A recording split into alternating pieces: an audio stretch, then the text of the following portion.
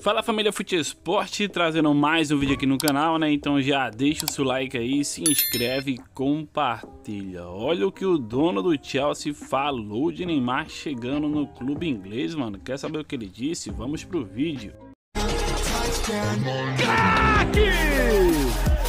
Gênio! Você que é demais! Então, o novo dono do Chelsea, Todd Boehly, né?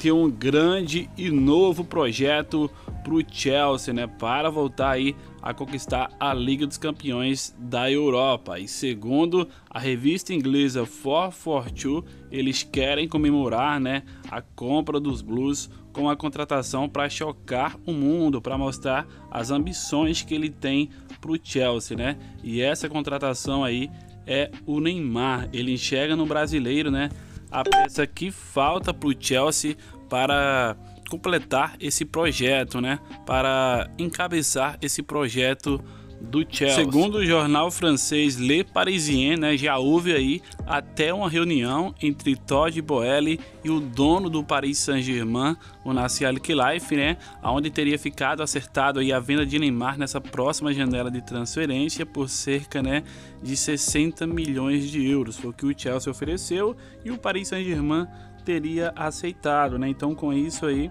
é só questão de alguns meses para a gente ver o Neymar atuando na Premier League pelos Blues, né? O Todd Boehly, mano, gosta muito do Neymar e ele disse que quer estrelas no seu time, né? É isso que ele acha do Neymar. É uma grande estrela o brasileiro. Ele é muito fã do Neymar, né? Ama o brasileiro, mano. Ele tem um carinho enorme pelo Neymar, né? E acredita que ele é a peça aí que falta pro Chelsea, né? Para esse novo projeto, mano.